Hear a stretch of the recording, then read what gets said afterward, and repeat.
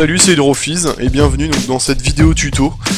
Euh, enfin, tuto à moitié, puisque là en fait il va juste s'agir de la préparation en fait du Zalman euh, CNPS 9900A avant la pose sur carte mère. Ça, je ferai une autre vidéo pour, euh, pour la pose sur la carte mère, je pense.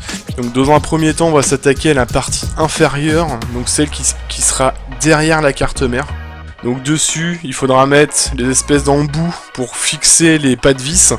Donc pour le sens, référez-vous bien à la, notice, il y a un schéma assez explicite. Ensuite, donc faudra coller tout simplement l'espèce de petit truc en mousse, ce qui est en fait du scotch double face. Donc collez-la dans un premier temps, en, retirant le milieu, et en fait au dernier moment, faudra enlever l'espèce de, bah, de l'autre face au moment où on la posera derrière la carte mère.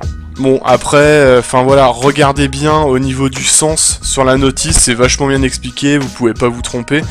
En fonction du socket aussi, bien regarder euh, à quel endroit, jusqu'où il faut enfoncer les vis, qu'en fonction du socket utilisé, ce sera pas le même endroit, parce que c'est pas la même taille. Donc maintenant on va, s'attaquer à la partie supérieure, donc celle qui concerne directement le radiateur. Donc pour ça en fait on va dévisser légèrement cette partie là pour pouvoir ensuite y insérer les pattes qui nous permettront de visser ça sur la carte mère. Donc on y va à mollo, ça sert à rien d'enlever complètement, il suffit juste de laisser un petit espace pour pouvoir passer pour pouvoir passer la petite barre comme ceci. Ah, tout en faisant attention à pas trop bouger le, le ventilo ou tordre des lamelles, ça serait dommage.